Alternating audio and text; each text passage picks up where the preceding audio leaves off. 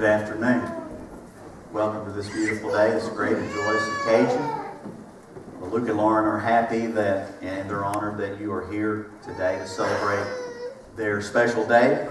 Uh, they ask that all phones be turned off, put away, so that their photographers can capture the special moments of their wedding ceremony. Thank you.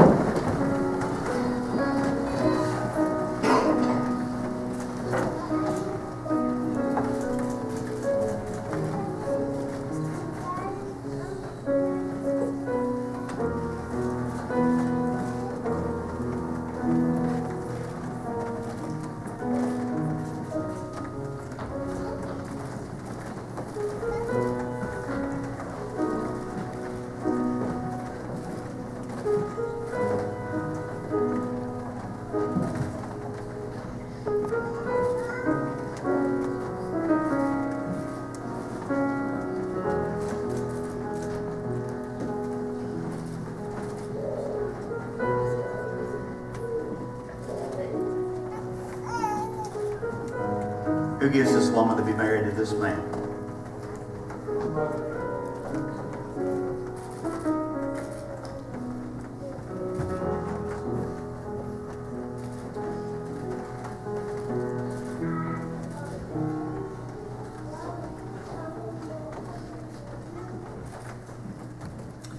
Let us pray.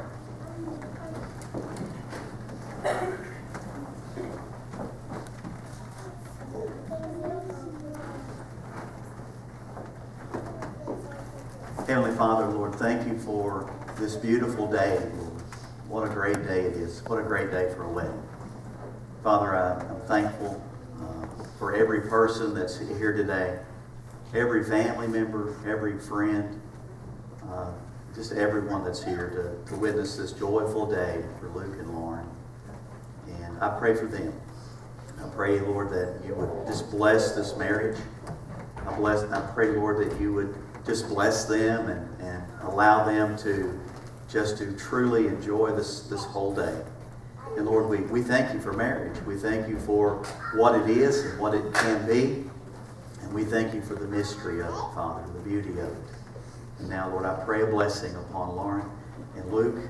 And uh, I pray for this day. For it's in Christ's name we pray. Amen. You may be. On behalf of Lauren and Luke, thank you all for being here today to, to celebrate and, and share this joyous uh, day uh, together with him. Uh, this is a good day. A wedding is a wedding's a good thing. It was at a wedding where Jesus performed his first recorded miracle. Uh, it's a time when a, a bride and a groom are surrounded by those who are closest to them those they love and cherish most, those who love them most. And, and I know uh, Lauren and Luke appreciate all of you who have come to share this special day with them. It's a day they will remember forever. So we're gathered here today in the presence of family, presence of God, and friends and witnesses. Uh, to witnesses, Luke and Lauren are joined together in holy matrimony. Marriage is to be a, a holy and, uh, and sacred union. It is regulated and designed by God. When we enter into a marriage covenant, it's, it's not only a promise and a commitment we make to each other, but it's also a commitment and a, a promise that we're making to God. Covenant. A promise that for better or worse, for sickness uh, or health, for good or bad, we are committed to the promise that we have made to each other and also to God. Therefore, we do not take this commitment lightly. In Mark chapter 10, verses 6 through 9, it says, But at the beginning of creation, God made them uh, male and female. For this reason, a man will leave his father and mother and be united to his wife, and the two will become one flesh. So they are no longer two, but one. Therefore, what God has joined together, let man not separate. And Jesus was actually uh, speaking to Pharisees who had come to test him uh, on the law and on divorce. And Jesus basically tells them that marriage is more than, than agreement. It's more than a piece of paper. That when you're married, you are you're no longer two, but you're one. Ecclesiastes chapter 4, verses 9 through 12 says that two are better than one because they have a good return for their work. If one falls down, his friend can help him up, but Pity the man who falls and has no one to help him up. And also, if two lie down together, they will keep warm. But how can one stay warm alone? Though one may be overpowered, two can defend themselves. A cord of three stand, strands is not easily broken. Luke, Lauren, that, uh, that cord of three is, is both of you and the Lord as you choose to walk with Him. God has not designed us to be alone. Proverbs 18.22 says, He who finds uh, a wife, Luke, finds a good thing. In the beginning, God said it was not good that, that man is alone, so he made him a, a helpmate, that they might live together and be a team, and, and that God would also be a part of that team. That cord of three strands, that's not easily broken. Solomon wrote in the Song of Psalm, Songs, chapter 3, verse 4, about finding the one his heart loved, finding the right one. In chapter 8, he wrote about the seal of love. He said, Place me like a seal over your heart, like a seal on your arm, for love is as strong as death. Its jealousy unyielding as the grave. It, it burns like a blazing fire, like a mighty flame. Many waters cannot quench love. Rivers cannot wash it away. If, if one were to give all the wealth of his house for love, it would be utterly scorned. Luke, Lauren, may, may your love for each other be the kind of love that Solomon wrote about. So finally today, we come together to celebrate that love you two share for each other and officially join you together as husband and wife. So Luke, do you solemnly agree before God and these witnesses to take Lauren to be your lawful wedded wife, to love and respect her, honor and cherish her, in sickness and health, in prosperity and in adversity, and leaving all others to keep her, to keep yourself only to her as long as you both shall live? Lauren, do you also solemnly agree before God and these witnesses to take Luke to be your lawful wedded husband, to love and respect him, honor and cherish him, in sickness and health, in prosperity and in adversity, in leaving all others to keep yourself only to him as long as you both shall live. Luke, would you repeat after me? I, Luke, take you, Lauren, to be my wife to have and to hold from this day forward, for better or worse, for richer or poorer, in sickness and in health, to love and to cherish, till death do us part. Lauren, you repeat after me. I, Lauren, take you, Luke, to be my husband, to have and to hold, from this day forward, for better or worse, for richer or poorer, in sickness and in health, to love and to cherish, till death do us part. Do you have rings?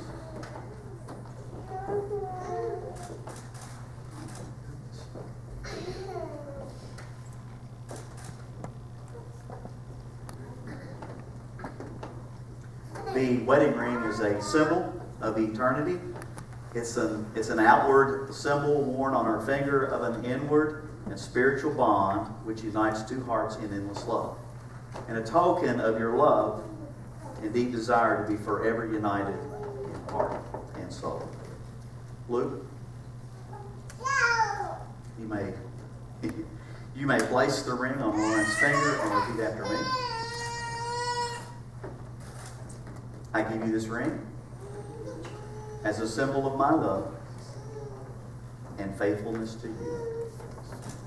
Lauren.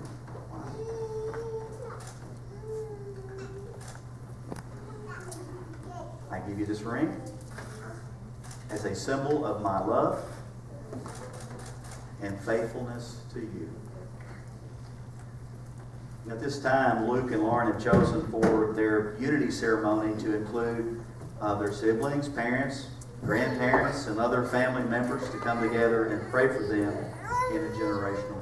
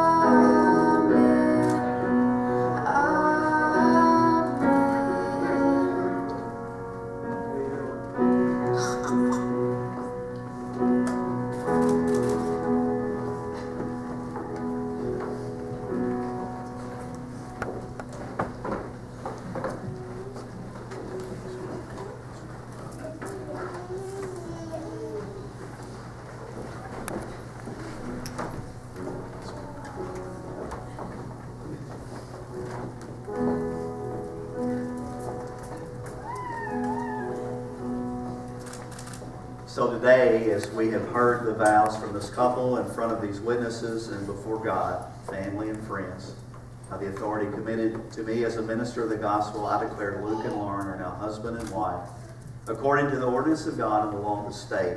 What God has joined together, let no person separate.